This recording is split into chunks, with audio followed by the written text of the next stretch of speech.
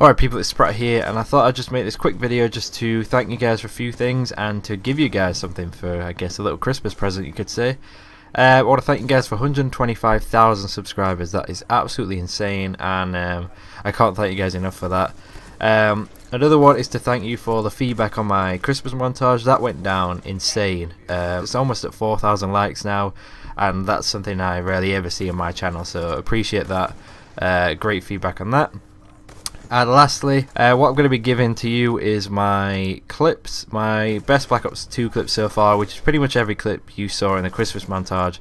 So there's about 20 clips. I'm doing this is because uh, I haven't seen anyone release any Black Ops 2 clips yet. And I usually release a lot because I know there's editors out there who want to practice with clips or they want to make edits with clips or whatever.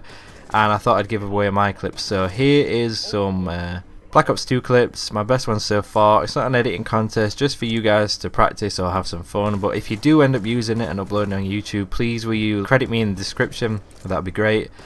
And yeah, just have fun with it. So that is pretty much everything I want to say.